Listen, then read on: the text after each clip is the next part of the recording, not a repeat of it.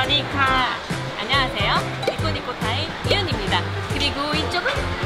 슈네카. 렉 동생이에요. 한국어 조금 할 수 있는 동생. 언니나? 아니 아니. 6월이 되니까.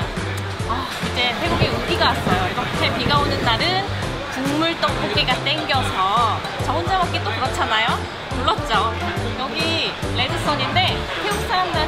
되게 좋은 곳이더라고요. 그래서 왔습니다. 떡볶이 먹으러 함께 먹겠습니다.